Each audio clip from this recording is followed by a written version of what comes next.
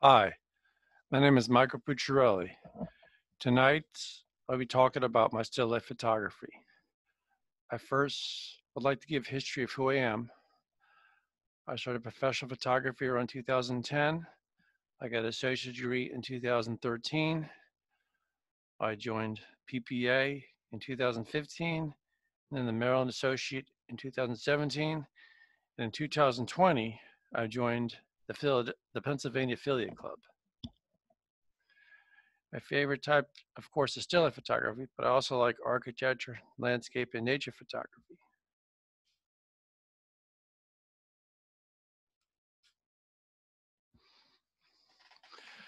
These are some light painting sample images. Some of these I have entered in competition, and some of these I'm going to enter in competition.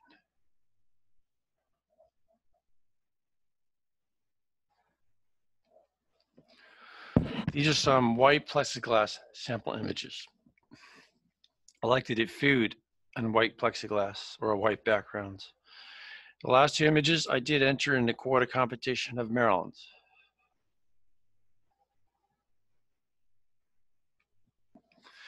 These are some black plexiglass sample images. And I've entered a lip sip one in the Maryland quarter. I'm gonna enter the first two in the Southeast District.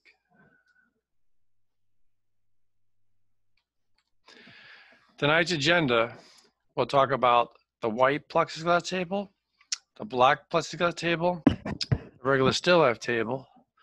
And within these tables, I'll talk about the lighting modifiers and other accessories that could help you take a great still life photograph. And then I'll talk about the camera settings. And then I have a small demo with Adobe Photoshop and the Lightroom Adobe Camera Raw demo. It's called the white plexiglass table. And I bought this from Amazon. It's five years old. I've had it for five years, still the same table. There's a big price difference between the BH photo plexiglass tables and the Amazon ones because of the Manfrotto frame. And the Manfrotto frame is the most expensive part. And in this photograph, it's not the Manfrotto frame. And I still use the table today. There are many lighting modifiers you can use with the white plexiglass table.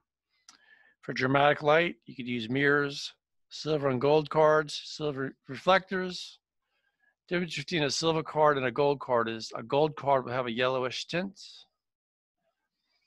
And then white reflectors and white cards are great for soft light. And then black cards are great for taking out glares. They could help control the flash of a strobe when there's too much light. Then there's plastic fusion scrims. They soften the light. You just simply put the plastic fusion scrim in front of the strobe. Colorful gels work great with flash. You just attach the colorful gels to the strobe or flash head. And then there's medium size plexiglass sheets and these are great also for softening the light. Then a Cinefoil, and this is great for creating a small snoot. And, you, and then there's blinds. You could use blinds with any table. Blinds play a key role in natural light. It, then there's spring clamps. They're very good, any type of size. Spring clamps are great for holding like plexiglass sheets on the table. And then the C clamps, and the great all sizes. And that's great for holding a scrim on a black plexiglass table, but I'll talk about that later. And then there's duct tape. It's great for holding stuff. Duct tape, you could also create a slit snoot for a small flashlight. Then there are clothespins, and that's great for attaching the colorful gel on the flash head. And some of these items you can buy at an art store. You can also buy a lot of this at a hardware store. You can also buy some of this at a grocery store, like duct tape and clothespins.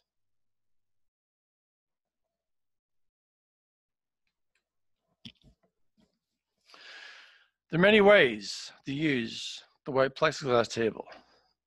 You could use it with one light, two lights, three lights. Flash continuous, I recommend flash.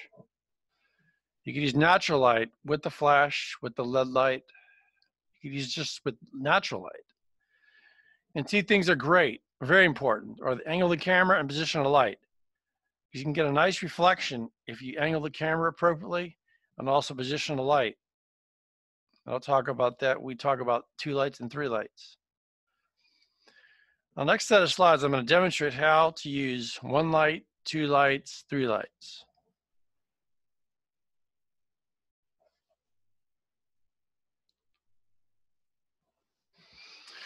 This is one way to use a white plexiglass table. You just have one light.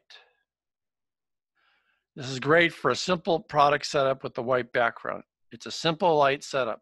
You just have the light above the product. And you just may have the angle of the light so you get the product label better.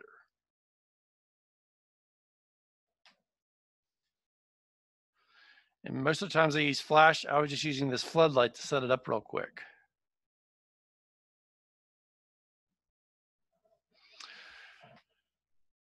This is a way to use two lights with the white plexiglass table. Again, this is great for product photography. It's a simple setup. You just have two lights at a 45 degree angle. You can position these lights facing each other or on back of the subject at a 45 degree angle. And if you go back to this side, you can have a light here. You can also have a light here or a light here. You can also have three lights light here and here.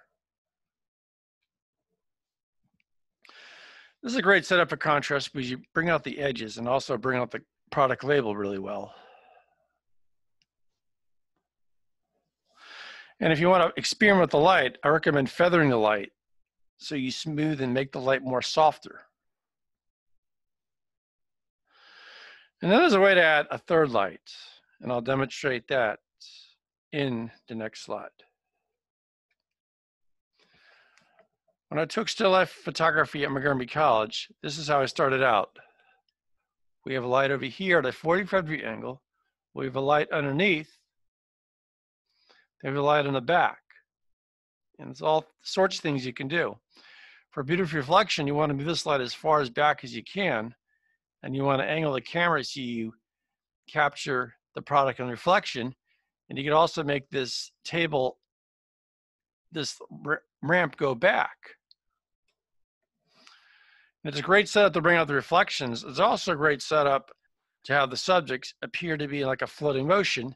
In that case, you just have the flash underneath, right underneath the product. I mean, you could do a lot with this. It's a matter of positioning the light and the exposures to get what you want. This is another great setup for showing off the edges. That's why we have the light over here at a 45 degree angle.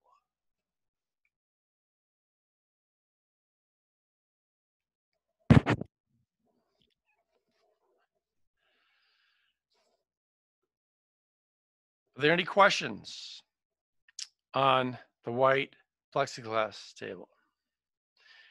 If you have any questions, just feel free to stop me. This is the black plexiglass table with the scrim. I only use a scrim to soften the light. And this setup's great for Julian watches. And you could add light without a flash, like with small mirrors or reflectors or white cards. And then sometimes you just need another light. I'll demonstrate that later. And there are ways you use a scrim. One way is over here at a 45 degree angle. Another way is a 90 degree angle. I'll demonstrate both of these later. And this is just a plexiglass on plywood. There's cloth underneath so that the plexiglass doesn't scratch. And these are sawhorses from Home Depot. And these are hole poles in the wood have drilled and then I have um, spring clamps holding up the plastic fusion scrim.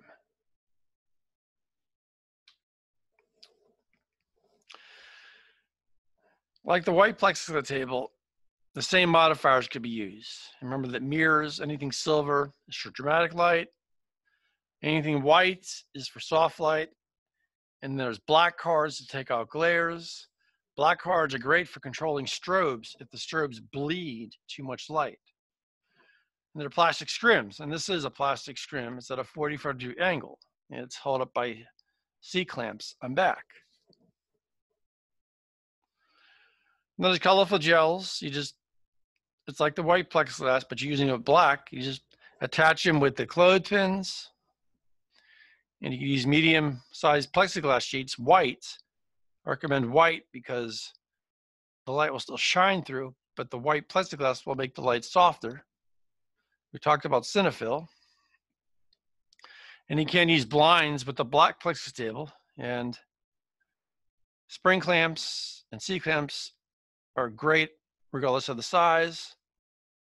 We talked about where you can purchase all this stuff, various stores, and you can also purchase it online. Go to the company's website.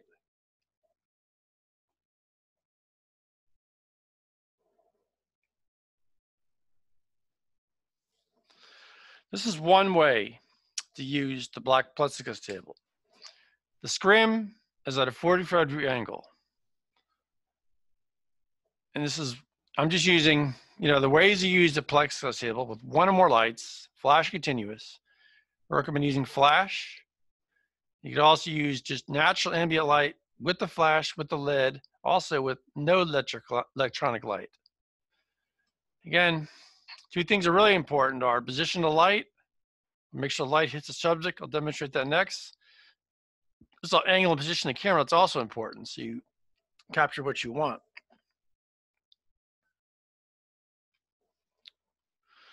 And this is what the backlight looks like with the black plexiglass table. It's 45 degrees. The light will shine through and you gotta have the subject within the light.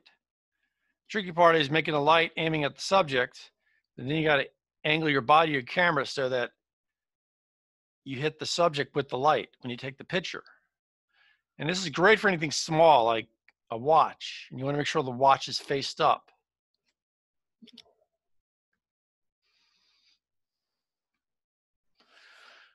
And this is a way to use two lights. Again, the scrim's at a 45 degree angle.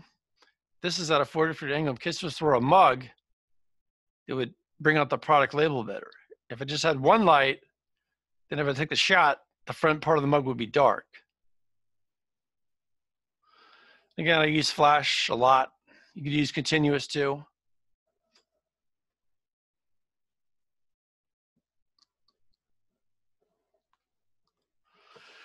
This is a way to use a black plexiglass table with the scrim with the 90 degrees. You can do a lot of cool stuff like vignetting, non-vignetting. I'll talk about that in the next few slides. Then it's great for clear glass subjects. You only need the light position and back of the plastic fusion because the light will shine right through. And for non-glass subjects, then you gotta have a light at a 40 degree angle. So it's a contrast, the light will bring contrast to the photograph. Or you can put a light on, on top, like a Paramount style, or on this corner, and you can add light with mirrors and white cards.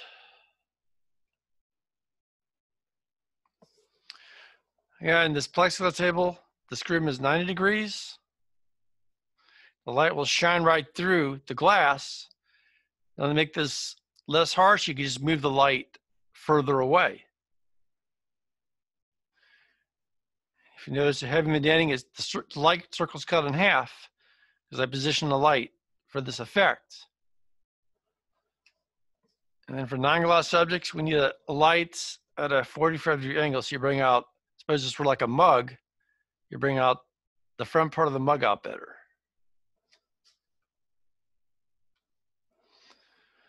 And here I raise the light up to change the look of the photograph. And then you could try moving the light away from the scrim. You can also aim the light up. And this is just with one light shining through a glass subject.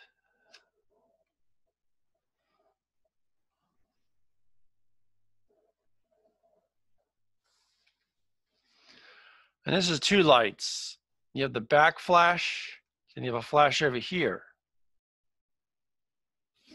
And mm-hmm. the reason why I have this light here is because this is a non-glass subject that if I were to take it just with this light, the front part would be dark. That's why I have a light here at a 40 degree angle.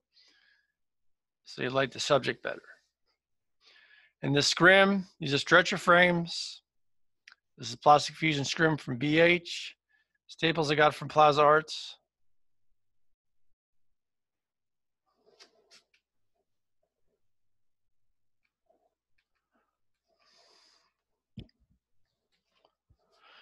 This is a regular still life table. This is a great setup for natural light and also light painting too. I'll talk about that later. For natural light, blinds play an important role. You want to angle the lights at a 45 degree angle. If the light's still too harsh, you put the scrim in front of the light. So two important steps is use, use available ambient light, and use the blinds you want to aim the light, then if you you could add light with white cards, but if the light's very harsh, you could put a scrim in front of the, the window.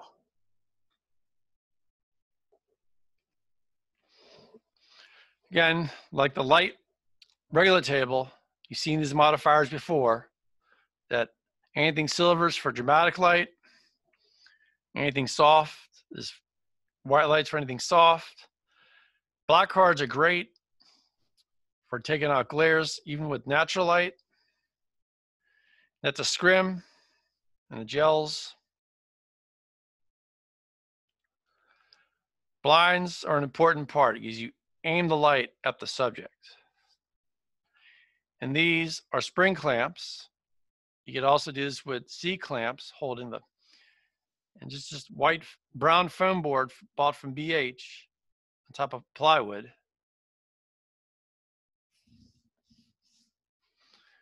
And you can buy a lot of this at an art store. You can buy it online.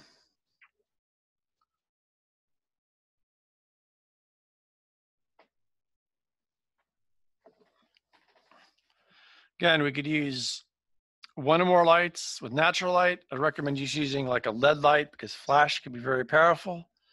Sometimes all you need is just a natural light and you don't need a flash. And angle the camera, position the light, in this case, position the scrim to soften the light. And we could use many modifiers. And the thing I want to warn you, when you add light, I recommend a big reflector. Because if you have a small mirror, you, you put a nasty glare on the subject. I recommend using a big silver reflector or a big white reflector.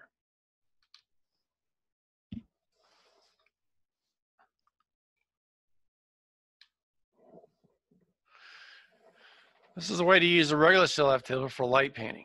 And this is a great setup for light painting, especially anything small. And recommends maybe light painting through white reflector or white scrim.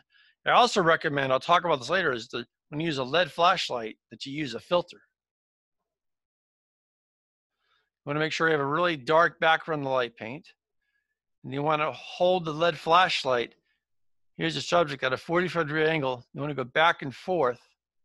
You want to paint the subject with light going back and forth. You want to go slower for emphasizing more light, then you want to quicker for em emphasizing less light.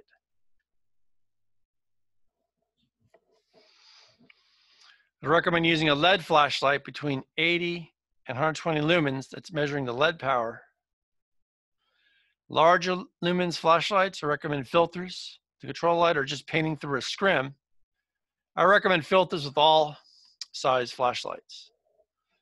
And filters really help soften the light. They work well with any flashlight. You just have to measure the flashlight and fit it on the flashlight. I'll talk about that later. And you definitely want to use filters to soften the light. And I'll talk about how to create a filter with a foil pipe and duct tape. And duct tape, as I said before, you can create a like a slit snoot for a small flashlight. These are what my LED flashlight looks like. Smallest is 50, then 80, then 120.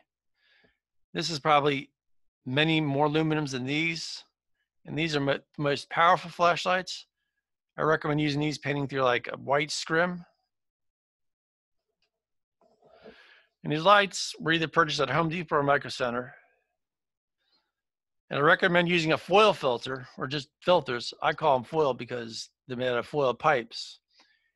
And I measure the flashlight, go to the hardware store, measure the pipe, and I fit in the flashlight. You can buy these flashlights also online in addition to going to the store.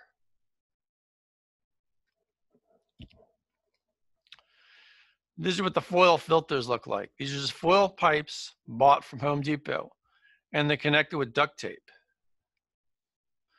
Again, they really help control the light and you want to swing back and forth. And light painting outside, I recommend just maybe just paint through like a reflector or a white scrim. And I'll stress that the more you control the lighting with these filters, masking and Photoshop will be a lot easier. All you do is put the filters on the flashlight. You want to swing in like a clockwise or a pendulum motion. You want to go slowly to emphasize more light, quicker. You want to use less light. You want to think of the direction of the light. You want to have a plan. You want to use light from one direction to add more impact. These are my flight sides look when I have the filters turned on. Big difference when you use a filter and when you don't use a filter. Lights will look differently. Your light paint differently, but you have more control of light and your light paint better. You make Photoshop's masking job easier with these filters. The more you control the light, the more you control your light painting.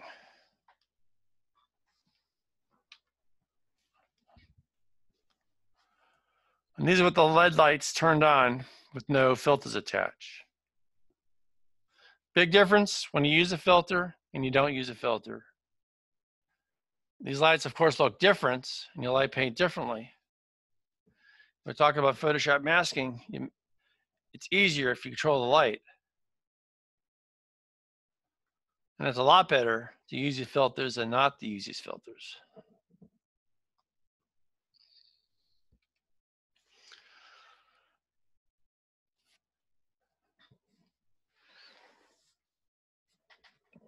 This is what the camera diagram for light painting looks like. We're on bulb mode. We're in aperture 16, ISO 100. This is the picture mode. This is the white balance. This is the meter mode. This is the focus mode, 19 point focus.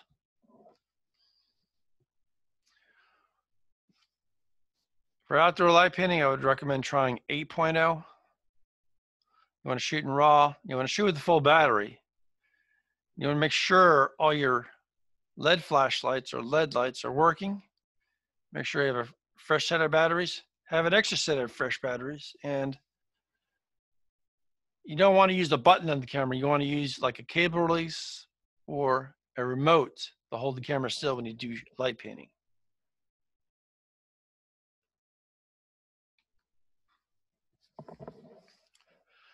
This is the diagram for the white balance. I always use daylight white balance. It's the most natural. I never use auto because you're adding too much artificial ingredients to the photograph. Some people call it auto white balance all wrong balance. In the shade, there's cloudy, there's tungsten, white fluorescent. And the temperature is measured in kelvins, and you could set the Kelvin on modern DSLRs today. And a custom white balance is when you use a white card and then you adjust, you just adjust it with the camera. I just like to keep it on daylight because if the light changes in the custom, you have to do a new custom.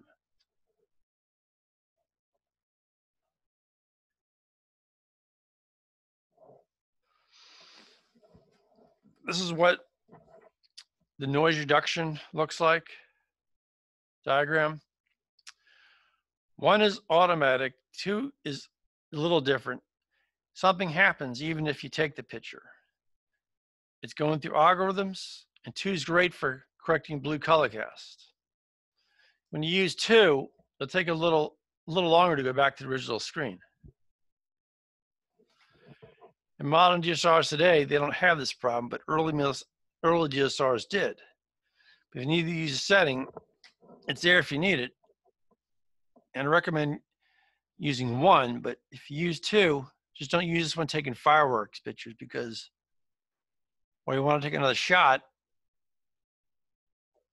the screen is trying to go back to the original screen, you can miss the shot.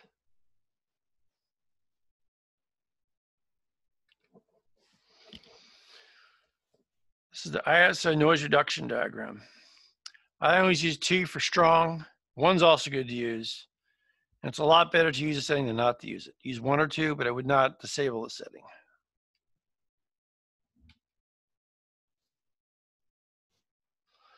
This is what the camera looks like when I do regular still life, like a white plexi table, black plexi table. If I shutter 125th, sometimes if it's too overexposed, I have that cut the shutter in half, maybe raise the aperture. I always use ISO 100.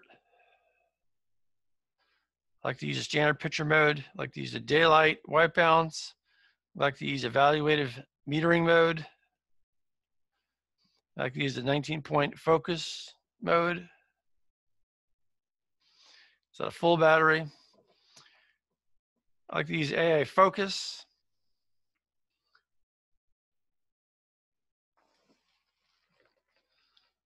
And this is the regular standard picture. There's also like the timer, like two second. There's also high density shot, low density shot.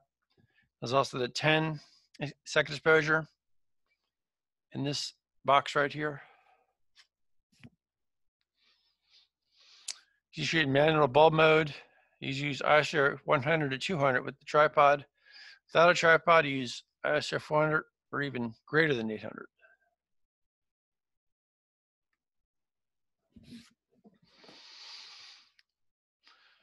This is another camera setting diagram. Some of these we talked about. White balance, we talked about picture style. This color space, I recommend using sRGB because it's easier for color correcting or managing colors within Adobe Photoshop. It's easier than RGB. The exposure bracketing is where you take a shot, three shots. You can have one or two stops over, one or two stops under, than a regular shot.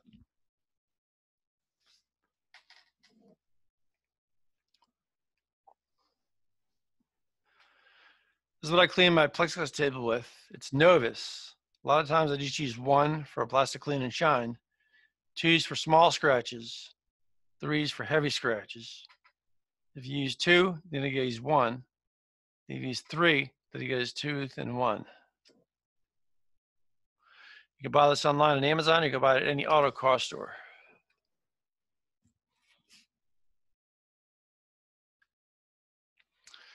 These are what my lighting modifiers look like.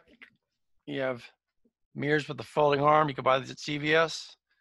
You have armature clips. We could hold mirror plates up.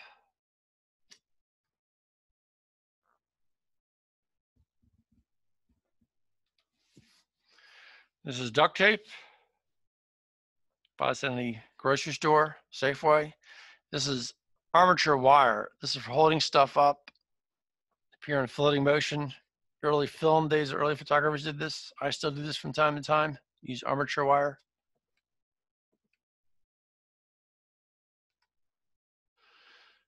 Got the C clamps. This is great for holding up a plastic fusion strip, either at a 45 degree angle or a 90 degree angle. This is great for holding things. These are silver cards. These are gold cards. Silver cards for anything dramatic light. These are also dramatic because you have like a yellowish tint when you use the gold cards.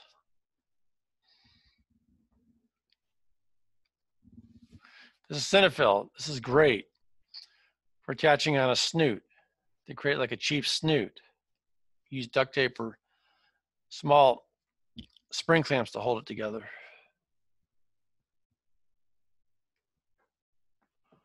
These are colorful gels, come in all sizes. Bought these, the ones in the string at Plaza Arts. Use these for my big strobes.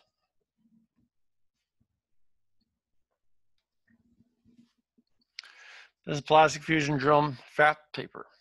You buy this at Plaza Arts. This is great for putting in front of the strobe to flash to, to soften the light.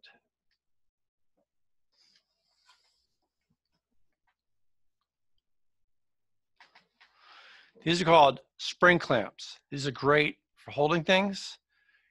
You can use as many ways. You could hold a scrim at a 90 degree angle or at a 45 degree angle. These are clothespins, great for attaching the gels in the flash. These are what my plastic fusion scrims looks like. I built all these frames with stretcher frame and Plaza Arts. This is a frame already made and I bought this at Target. And this paper, this draft fusion paper is a different, is thicker than this.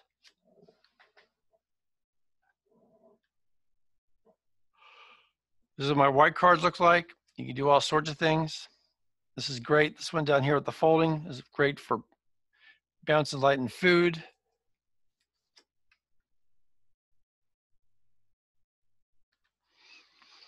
These are my black cards and the folding, and they're great for if too much light is on a subject, they're great for taking out glares. They're great for um, controlling bleeding strobes that have too much light. So white plexiglass sheets, this is great for softening light. You use spring clamps to hold it on the table. These are clear plexiglass sheets. There's ways to food with the white backgrounds at a foot away. And it's great to have the feet in like a floating motion. And this is black cards we talked about that are black plexiglass sheets. This is great if you don't feel like using a big four foot plexiglass sheet.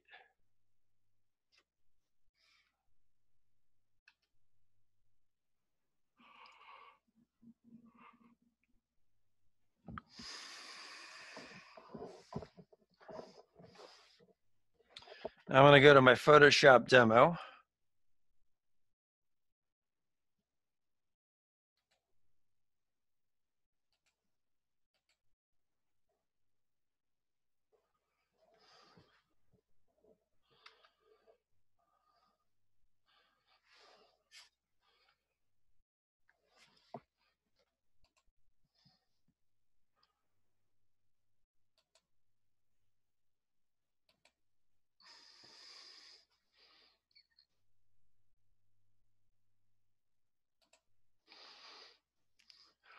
This is Adobe Camera Raw.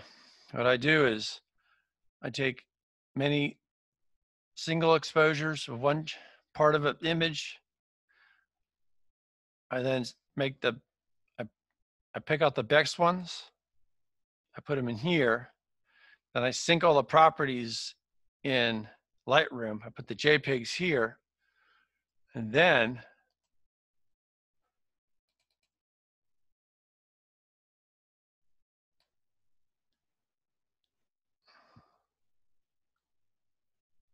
Here's the master art file. But here are all the JPEGs. I'm going to go into Photoshop and talk about what to do next.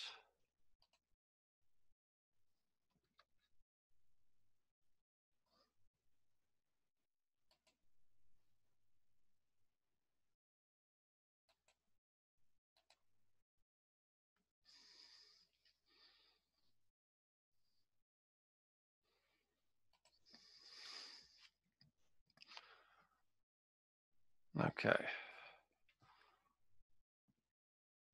I go to my Photoshop master art file. And basically what I do, all these exposures you see disappearing, basically what I do is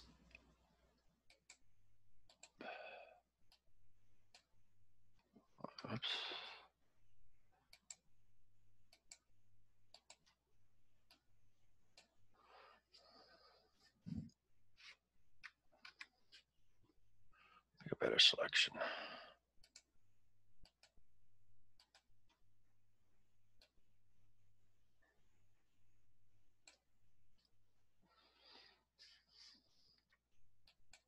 There. Make a selection.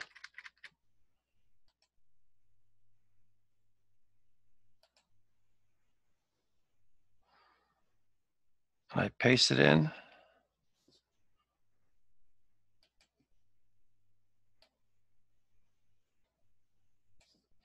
I try to fit it on.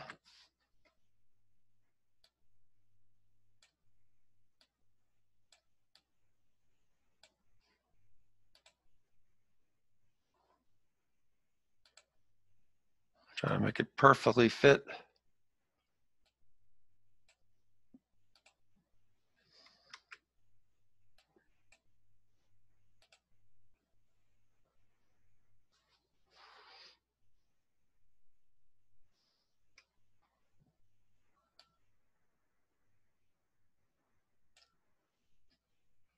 What I do is I then turn it in. I turn it into a layer mask. And what I like to do is experiment with the blend modes.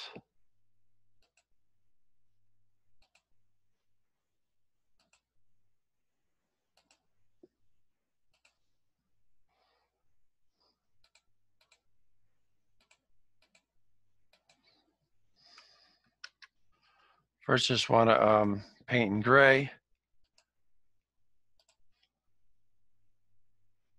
Need a brush. And I want to be, I like to try with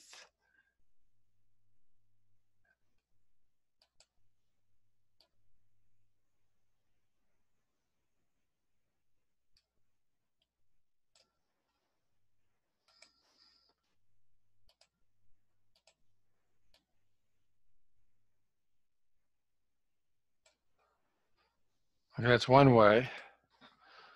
I'm gonna go here. I'm gonna do the same thing. I'm gonna try with a different blend mode. Experiment with like, let's try overlay.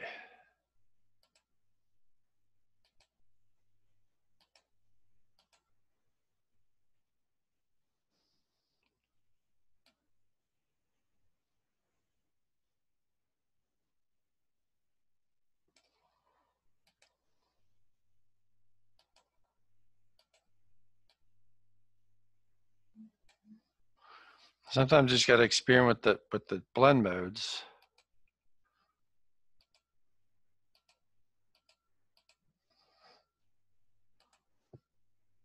Didn't do anything. So then I try with try lighten.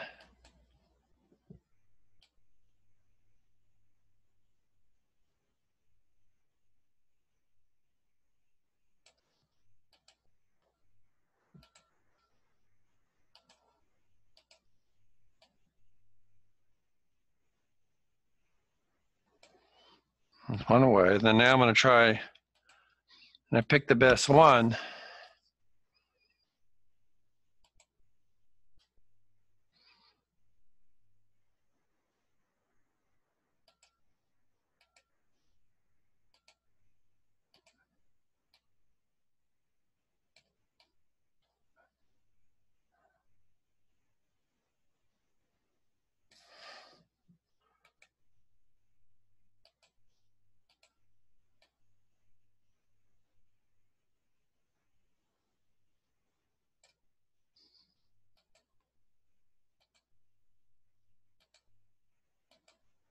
So just experiment blend modes. So I'm going to do this. I'm going to throw these away. Already got it done.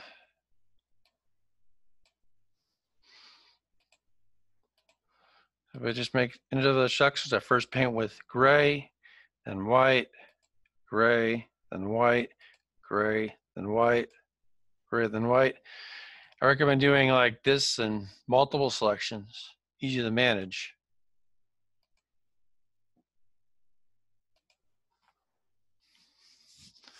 Then I try use some noise filters. I want to take out some speckles. I want to take out some dusters and scratches. Just have it at one pixel. You have more, but us just use one. Sharpen. Just have it, you know, we want to make sure that we look for any halos when you sharpen. And then there's actions.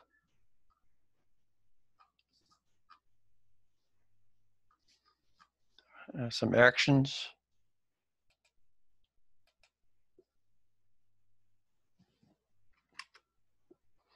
There's also actions for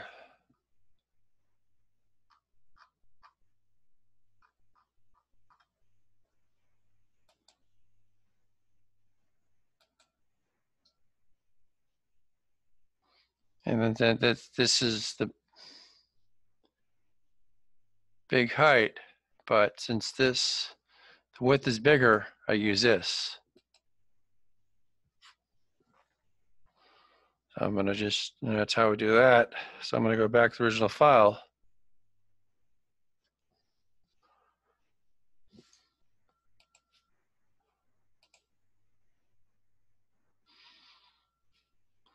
I'm gonna talk about other ways I do.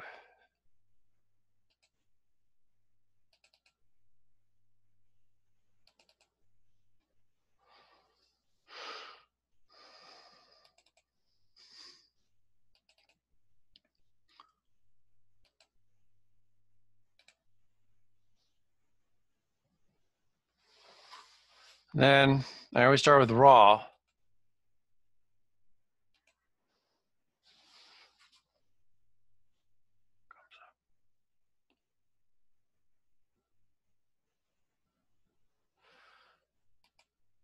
What I do is I and it, take care of the chroma, bad error color chromatations. I check out the profile box. It's a little different because this is a filter. Then I I use and then make all the changes. Work my way down.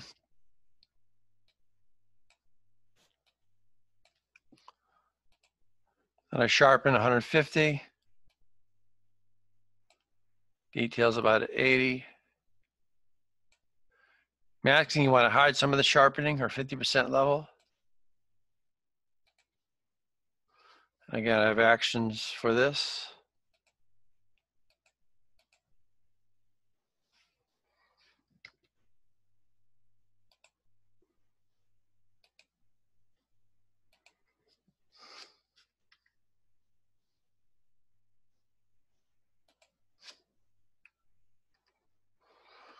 So, are there any questions?